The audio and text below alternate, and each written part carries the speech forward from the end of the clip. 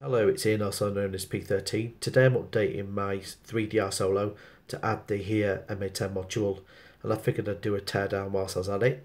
You can see it's held together with uh, three screws at the back.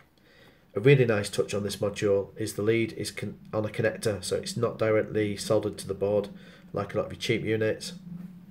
You can see straight away looking at the module that the rear is RF shielded, so that's shielding the uh, u-blox chip and it's shielding the uh, connection from the antenna and so on. The top of this module has not just one, but um, two mag units.